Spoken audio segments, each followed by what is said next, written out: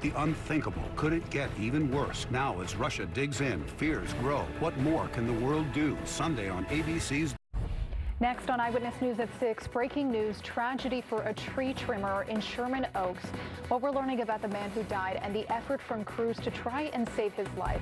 Plus, nearly three months after her murder, loved ones gathered to honor Brianna Kupfer on what would have been her 25th birthday.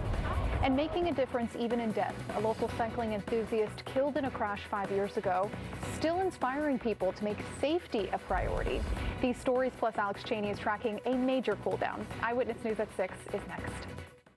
We're Grocery Outlet and we are your bargain market. What's bargain bliss? You know that feeling you get when you find the name brands you love but for way, way less? That's bargain bliss. Find bliss on every aisle at your neighborhood grocery outlet. It's Grocery Outlet's 20% off wine sale going on now till April 12th. We have hundreds of wines sure to please any wine enthusiast. So act now because these deals won't last long. Stop in and save today.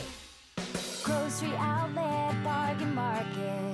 America, home of the free. Hi, welcome. Kids eat free, right? Yeah, that's right. Free is our favorite word. Like kids eat free. We get it. That's why at Morgan & Morgan, our fee is free. That means you don't pay anything. This place is fire.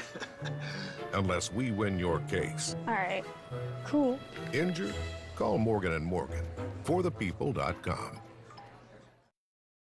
This is Eyewitness News with live breaking news. We begin at 6 with breaking news out of Sherman Oaks. A tree trimmer is dead after a tragic accident. I'm Veronica Miracle. Jory Rand is off tonight. This happened just after noon on Coldwater Canyon Avenue near Mulholland Drive. Dozens of firefighters responded to the scene and they worked to rescue that man who's in his 70s from a tall tree about 50 feet off the ground. He was declared dead at the scene. He had a crew that was working with him. Um, according to the crew, they, they were working, so they were going back and forth, so contact was intermittent for about a few minutes at a time. There were energized electrical wires near the area where that tree trimmer was working. The cause of his death, though, is still under investigation. Nearly three months after her murder inside a Hancock Park furniture store, loved ones carry on the memory of Brianna Kupfer. Today, they hosted a charity event that would have marked her 25th birthday. Eyewitness News reporter Amy Powell joins us live to show us how they continue to celebrate her life. Amy.